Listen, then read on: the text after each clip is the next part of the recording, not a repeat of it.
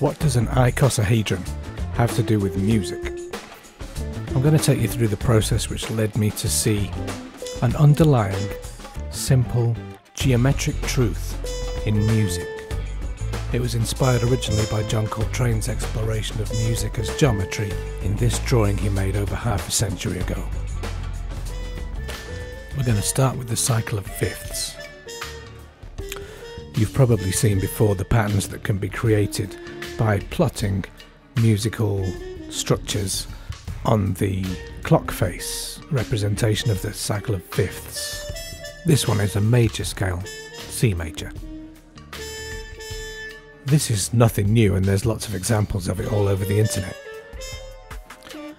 But the ones that are important for this three-dimensional geometric system are the symmetrical shapes. Symmetrical shapes in music are the chromatic scale, which has 12 notes,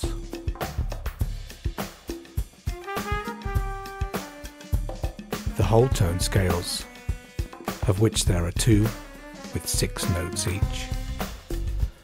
The diminished chords, of which there are three with four notes each. And the augmented triads, of which there are four with three notes each.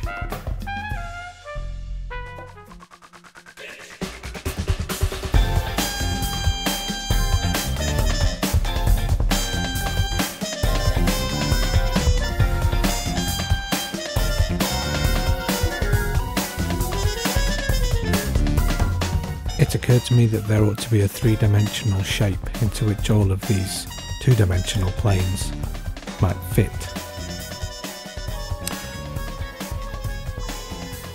So returning to the cycle of fifths, if we move every other note inward towards the centre of the circle, and we then align them with their counterparts in the original circle, we can create the impression of a third dimension.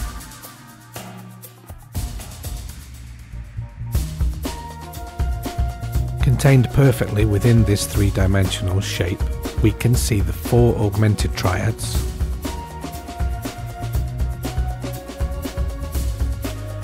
along with the two whole tone scales that they form when they are joined together.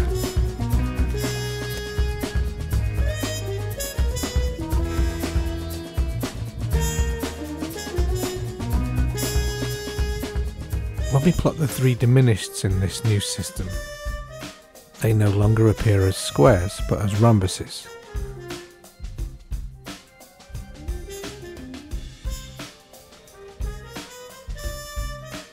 But we can see this as an effect of perspective and we can translate the image into three intersecting planes.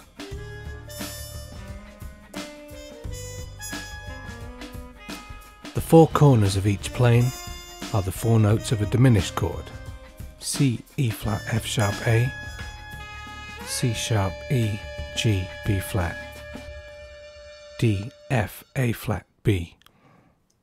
The end result is this 3D graphic. Three planes intersecting, three diminished intersecting.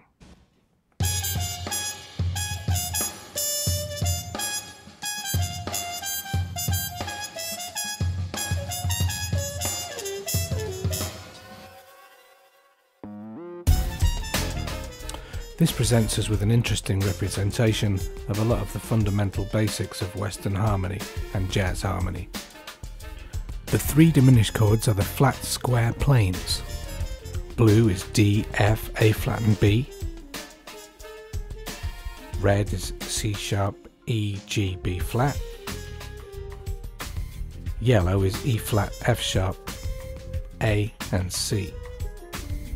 Where two planes intersect on the external crosses, we see some interesting parallels to functional harmony. The crosses contain two corner points from one square plane and two corner points from another square plane, i.e., two notes from one diminished and two notes from another diminished. These four notes, at the points of the cross, make a chord. The orange cross you see here is comprised of the notes C, E, G and A. This is C major 6 or A minor 7.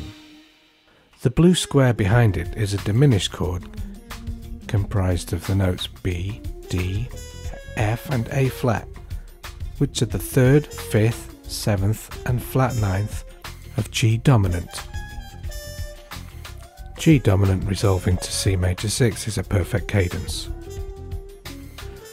The same notes, G sharp, B, D and F, are also the third, fifth, seventh and flat ninth of E7. E7 resolves to A minor 7 as a perfect cadence in the minor key. If we rotate the cube through 180 degrees so that we're looking at the other side of the blue square, we find another cross at the intersection of the yellow and red diminished planes. The notes found on the points of the cross are F sharp or G flat, B flat, C sharp or D flat, and E flat.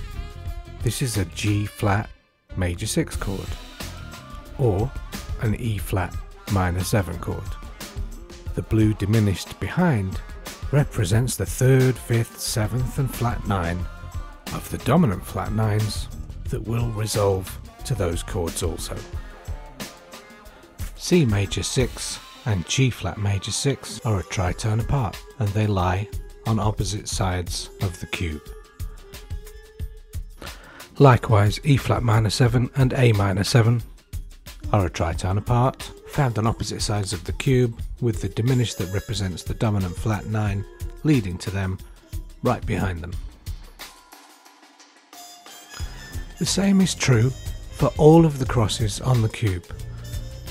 All the crosses contain two notes from one diminished and two notes from another diminished. They form a major 6 and a minor 7 chord, and the diminished which creates the effect of a dominant flat 9 which leads to that chord is right behind it. But this isn't all. If we move to this corner of the cube, we can see three notes which represent an augmented triad. C, E and G sharp. One note from each of the diminished planes. A little further back, on parallel corners, again one note from each of the diminished chords, we have F, A and C sharp. Next to this, again on parallel corners and with one from each of the diminished chords, G, B and E flat.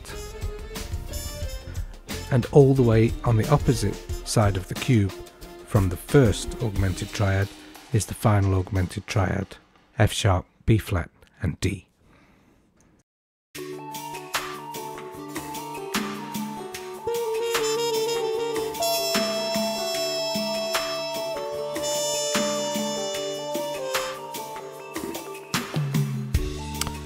I'm not sure what the ramifications of this are, or indeed if there are any, but it does seem to indicate that the structures in music that we hear and that we perceive as satisfying or dissatisfying, correct or incorrect, consonant or dissonant, resolved or unresolved, are structures that exist in nature and as such they might be seen as discoveries rather than creations of humankind.